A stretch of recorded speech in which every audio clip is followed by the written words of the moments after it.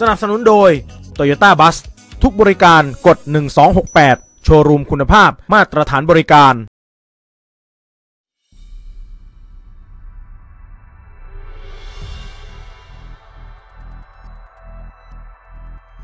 นางสาวแสงทองอายุ 59 ปี และนางสาวปนัดดาอายุ 37 ปี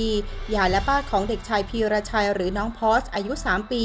เข้าแจ้งความกับเจ้าหน้าที่ตำรวจสอนอบางเขนในวันที่ 16 พฤษภาคม หลังจากเด็กชายถูกพี่เลี้ยงนำส่งโรงพยาบาลมงกุฎวัฒนะ ด้วยอาการกระเพาะแตกและมีรอยฟกช้ำตามร่างกายญาติเชื่อว่าน้องพอสถูกพี่เลี้ยงทำร้ายจนได้รับบาดเจ็บสาหัส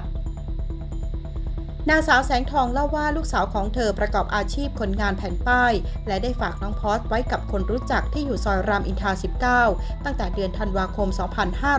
2566 โดยจ่ายค่าเลี้ยงดูเดือนละ 6,000 บาท แม่ของน้องพอสไปเยี่ยมเป็นครั้งคราว และพบรอยฟกช้ำที่ตัวเด็ก แต่พี่เลี้ยงอ้างว่าเป็นเรื่องของเด็กซน ทางพี่เลี้ยงมักปฏิเสธ เมื่อญาติอยากจะเข้าเยี่ยม แต่ก็จะส่งรูปน้องพอสมาให้ดูเป็นระยะ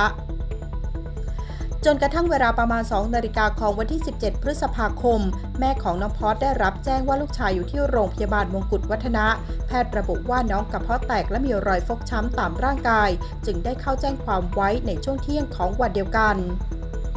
นางสาวปนัดดาป้าของน้องพอสเผยว่าตนเองเลี้ยงดูน้องพอสมาราวหนึ่งปี ก่อนที่แม่จะนำไปฝากไว้ให้คนรู้จักเลี้ยง เธอตกใจมากไม่เห็นรอยฟกช้ำเต็มตัวที่ท้องและคอ และหลังของหลานชาย ซึ่งแพทย์ระบุว่าถูกของแข็งกระแทก ทางพี่เลี้ยงอ้างว่าน้องตกบันไดและนั่งตกชักโครก แต่เธอเชื่อว่าน้องพอสถูกทำร้ายแน่นอน เพราะการตกหรือล้มไม่น่าจะทำให้กระเพาะแตกได้